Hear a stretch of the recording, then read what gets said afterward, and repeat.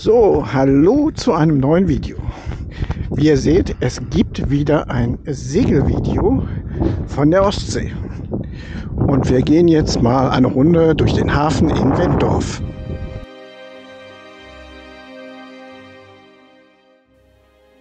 Wenddorf ist ein kleiner Ort direkt neben Laboe an der Kieler Förde.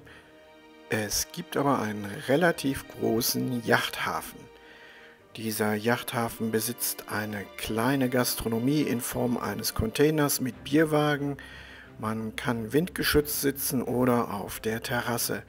Die Toilettenanlagen befinden sich ebenfalls in zwei Containern und sind über einen QR-Code, den man beim Hafenmeister erhält, zugänglich.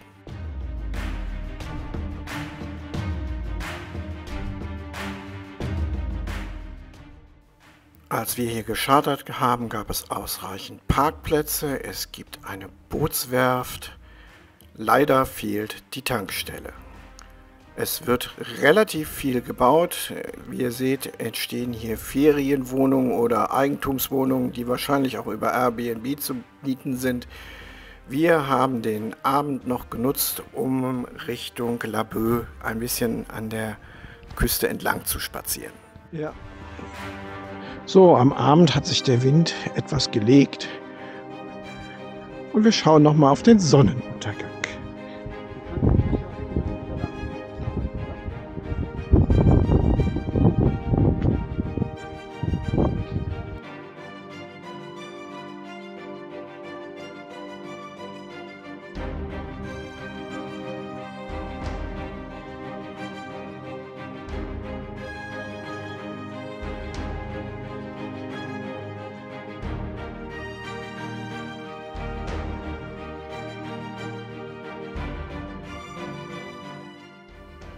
Im Hintergrund könnt ihr schon das Denkmal von Laboe erkennen. Wir sind dieses Jahr übrigens mit einer Bavaria von 2005 unterwegs mit einer Länge von 39 Fuß und einem Gesamtgewicht von etwas über 8 Tonnen.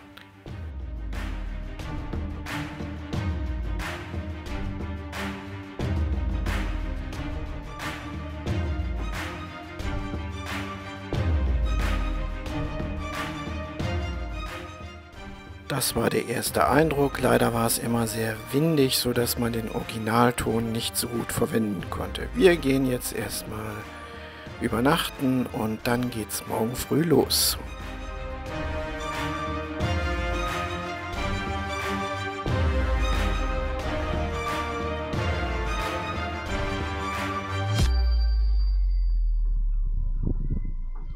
Ja, guten Morgen aus der Marina Wenddorf.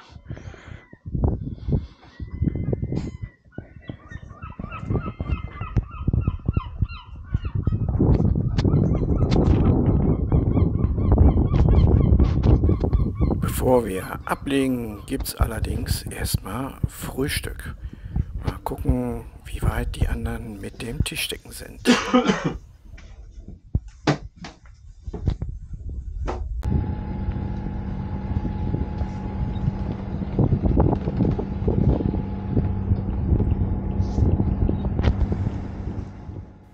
Ja, beim Rausfahren haben wir noch gedacht, das wird ein entspannter Tag.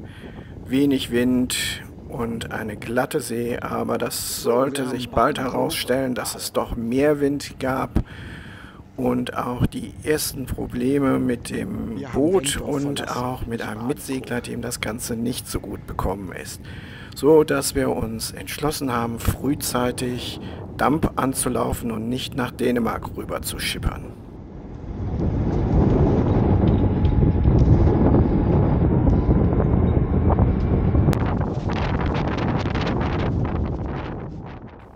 Das Einholen des vergessenen Flachfenders an der Backbordseite war dabei unser kleinstes Problem. Das haben wir ganz schnell hinbekommen.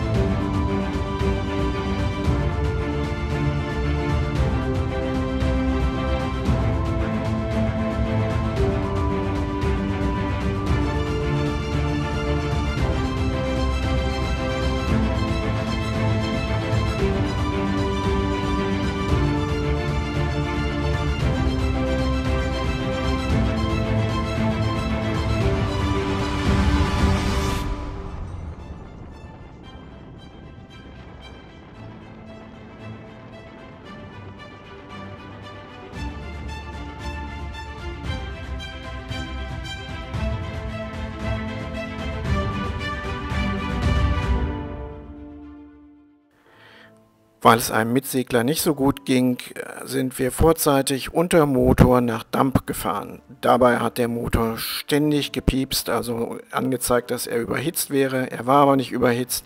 Kühlwasseraustritt war vorhanden und auch der innere Kreislauf für den Motor hatte ausreichend Kühlwasser. Das Öl hatten wir morgens noch vor der Abfahrt kontrolliert, das war voll. Der Motor hatte einfach Steuerungsprobleme.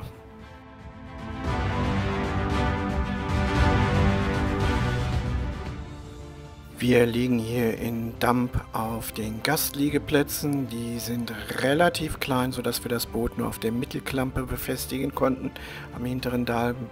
Der Wind hatte weiter aufgefrischt, in Böen etwa 6, so dass die Wellen, die von der See kamen, über die Hafenmole, den Wellenbrecher, in das Becken mit reinschwappten und wir auch relativ unruhig lagen.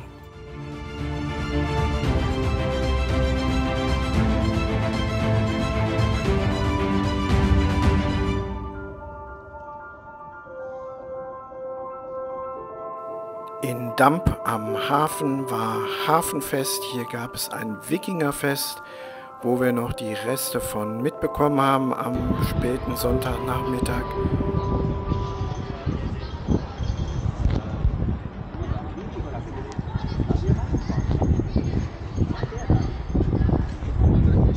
Guck mal, da ist der Edeka-Markt.